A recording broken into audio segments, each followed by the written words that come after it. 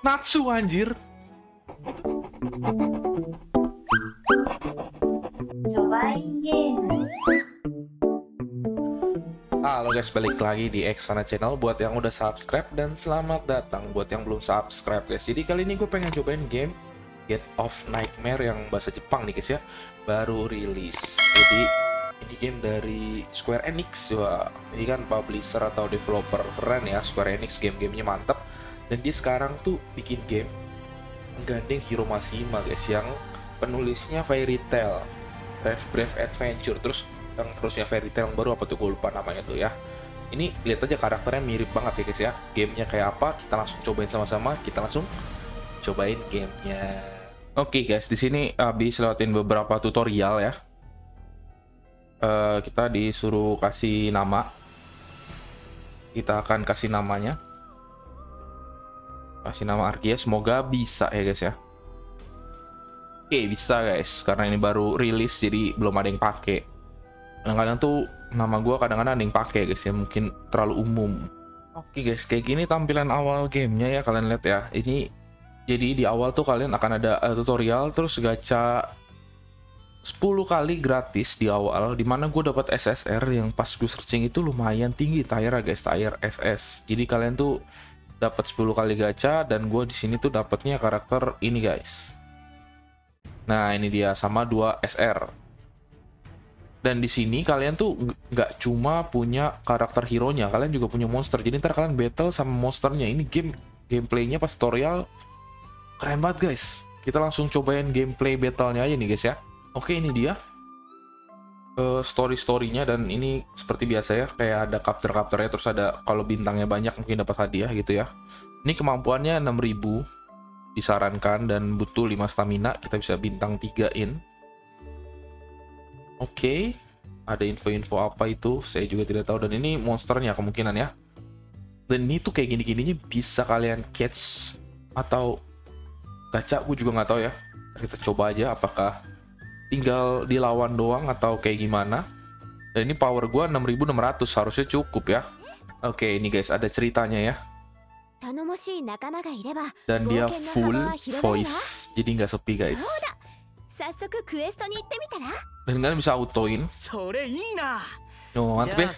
Ya, gue suka banget game kayak gini nih. Dan ada tombol skipnya. Ini kan kebetulan uh, cerita baru ya guys ya. Kalian belum ada di animasinya animenya atau apa pun itu ya. Jadi kalian bisa nikmatin storynya ini guys. Kalau yang mau, jadi nggak usah di skip. Tapi buat yang nggak mau storynya langsung skip aja guys. Dan battlenya, gameplaynya tuh kayak gini guys. Jadi keren banget sih guys, sumpah. Kalian Oh ini kita disuruh kayak ultimate gitu Bisa manggil semua monster yang ada di party kalian jadi satu Waduh gila guys. Gila dan ini Gue nggak ngeliat ada autonya sih guys. Jadi buat nyari game yang nggak ada autonya gue rasa ini game sangat-sangat cocok guys. Dan pencinta game-game yang Kayak monster-monster summoning atau monster catch gitu kayaknya ini cocok nih guys. Kita cobain ultinya ultimate-nya dia apa? Oh heal. Heal guys heal heal di area tersebut. Dan dia karena bukan hitter ya jadi sedikit lambat gerakannya. Hmm, mantep sekali. Efeknya pun nggak main-main. Anjir ini keren sumpah. Ini kalau keluar globalnya Waduh wajib sih guys kalian coba guys. Nih ya kita summon monsternya ya. Lu manggil kucing lawan ini lawan naga ayo. Kalau berani buset gue meledukin lu guys.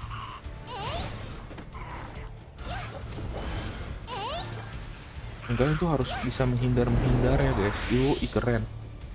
Wah ini game keren banget anjir. Gameplaynya bukan turn based turn based yang gacha pada umumnya. Dan sampai sekarang gue nggak ngeliat ada autonya guys. Jadi kayak gini ya gameplaynya ya keren banget sih. Oke guys, buat kalian yang baru main, itu kalian akan dapet currency 3000 ya guys ya di sini yang gratisannya. Dan di sini kalian lihat sendiri ada dua. Jadi ada sistem paid currency-nya, gemstone-nya atau apa pun disebutnya ini ya. Dan yang gratis ya kalian akan dapat 3000 diambil di box ini guys. Kalian ambil di sini dapat 3000 ya guys ya buat yang baru main. Jadi selain uh, reroll awal yang 10 kali kalian dapat ini juga. Dan di sini kalian bisa gacha di sini guys. Di sini ada sistem gacha yang paid dan gacha yang gratis. Nah ini yang gratis dan untuk rate-nya mari kita lihat. Ini dia guys uh, rate-nya 3% SSR-nya dan SR 18% sisanya R. Nah, ini SSR over SSR 100%. Jadi sistem uh, other over SSR dan over SR ya guys ya sistemnya ada kayak gitu-gitunya. Di sini kalian bisa lihat uh, banner-bannernya gitu ya. Bisa milih kah atau gimana red up-nya. Ini juga ada sistem kalian gacha berapa kali. Jadi lu bakal setiap 10 games you play, 10 games you play, lu bakal dapat hadiah dan di terakhir ada SSR. Jadi kayak ada PT-nya. PT-nya mantep banget ya. Oke guys, di sini gue bakal coba uh, karakter yang gue suka aja ya. Gue bakal pilih yang cewek. Kita langsung cobain gacanya.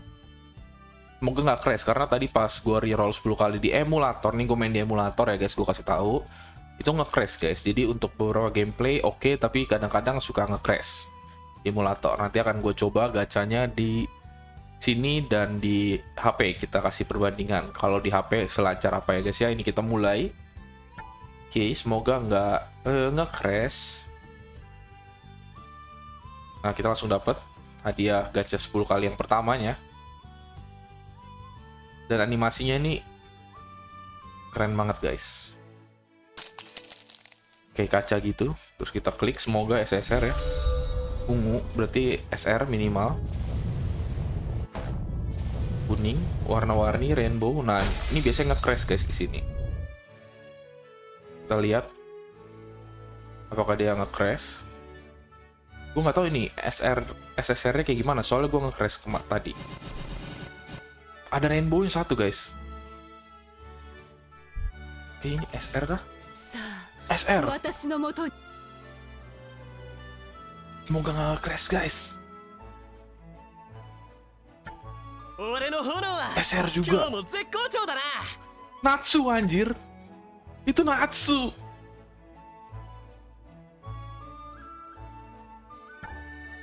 Wah ini game. Wah ini game wajib banget sih. Wah ini keren sekali guys.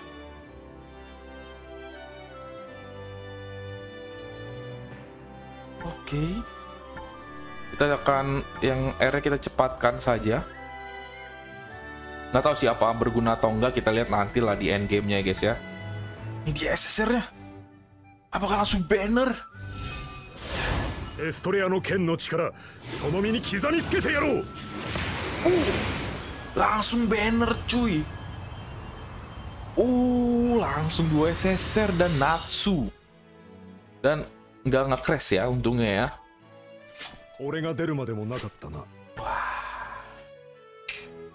Kalau nggak nge-crash gini, nanti gua kasih lihat uh, di ininya aja guys, 10 reroll pertama ya guys ya.